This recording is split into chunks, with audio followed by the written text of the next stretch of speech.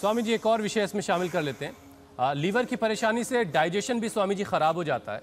बदहजमी gas acidity की परेशानी भी लोगों को काफ़ी होती है। तो इसके लिए भी कुछ उपाय बता दें।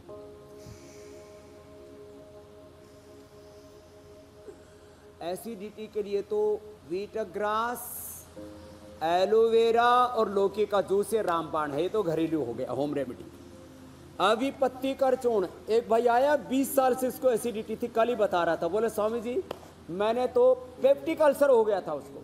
100 ग्राम अभी पत्ती कर जो हम रोज बताते हैं इंडिया टीवी पर, जब भी ऐसा प्रसंग आता है।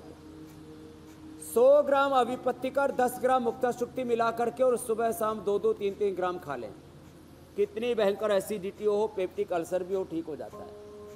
और खाने पीने में जितना हो सके अंकुरित लें और पहले सलाद और फल खाएँ, बाद में पका हुआ खाएँ थोड़ा थोड़ा खाएँ, खाने के बाद पानी ना पिए और भूख से कम खाएँ, ज़्यादा ना खाएँ थोड़ा थोड़ा खाएँ।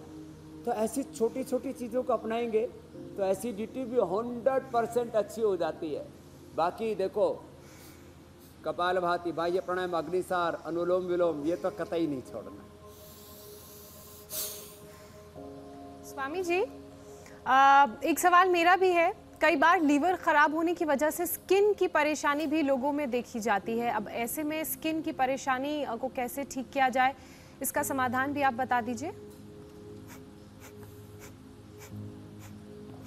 स्किन की प्रॉब्लम का ज्योत्सना जी मुख्य कारण होता है लीवर किडनी और मेंटल स्ट्रेस।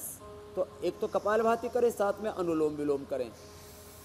और जिनको भी स्किन की प्रॉब्लम है, गोधन, अर्क सुबह दो से चार चम्मच और दो गोली नीम घनवटी की खा लें नीम के आठ दस पत्ते सुबह सुबह चबा लें और गोधन, अर्क पी लें कायाकल्प पोटी, खाली पेट और नीम गिलोय की गोली खाने के बाद।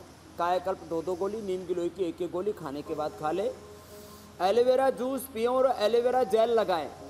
और बहुत ही ज़्यादा स्किन की प्रॉब्लम होगी है तो मिट्टी के अंदर एलोवेरा नीम हल्दी और मेहंदी के पत्ते।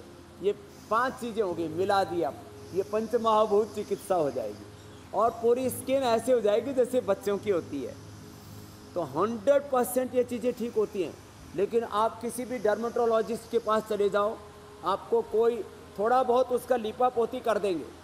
कंट्रोल कर सकते हैं छोटी मोटी प्रॉब्लम्स को। लेकिन क्योर होगा, केवल योग आयुर्वेद